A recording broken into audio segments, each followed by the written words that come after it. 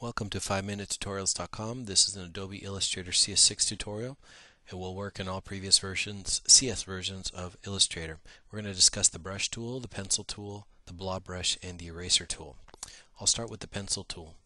When you work with the pencil, the important thing to note is that it is going to create a uniform line and it's going to ignore any brush definition that you have. So as I click and drag, you'll notice now that this has uh, the brush definition defaults back to basic.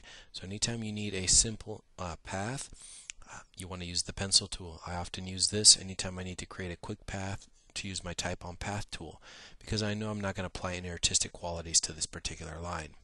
The brush tool works exactly the same. You click and drag and it creates the same type of line. The uh, difference with it is I'm going to select the brush tool now, select that path with my selection tool, and then come in here now and apply a stroke to it. Now I'm going to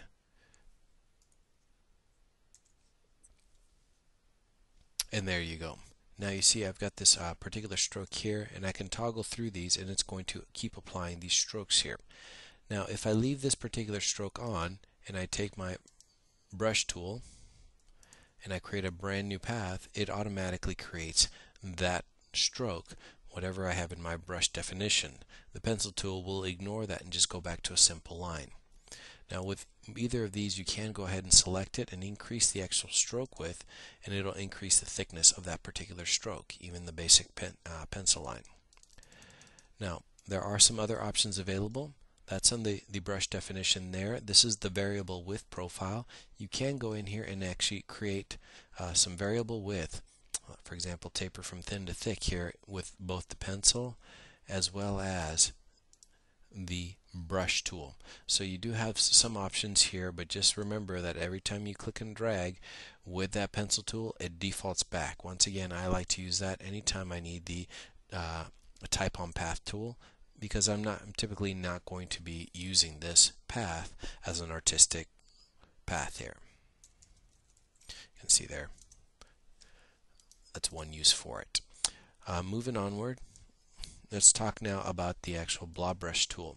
The blob brush tool allows you to draw a particular shape and then modify that shape and you can keep drawing and if you view an outline that's uh, control Y command Y on the Mac. You'll notice what it does it actually creates one large shape. No matter what I do it just continues to add to that shape.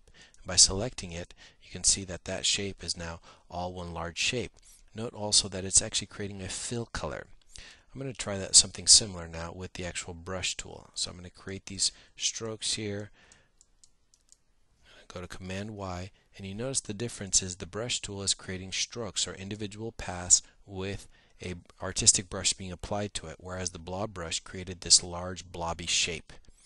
Now the eraser tool will go in and erase holes into it. You can see I'm erasing holes and on a that's for the blob brush but on the brush or the pencil tool if I click and drag it cuts the path so let's go back into our regular view here go ahead and uh, I can erase out uh, either from a fill color or actual paths and I'm chopping this path up into smaller pieces uh, keep in mind that it will erase both of those. So that's a quick overview on how the pencil, the brush, the blob brush, and the eraser tool work. One last thing I want to mention is each of these tools has an advanced mode or preferences or whatever you want to call it. Just double click on the tool and you can see here where you can adjust uh, the smoothness, fidelity, and you have a whole array of options here. So now with this, you'll notice that that brush uh, sticks a lot more to the type of stroke that I did. And once again, it is available for all of these tools.